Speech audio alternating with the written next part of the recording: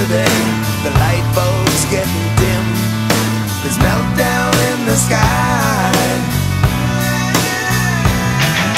If you can judge a wise man by the color of his skin, the mystic.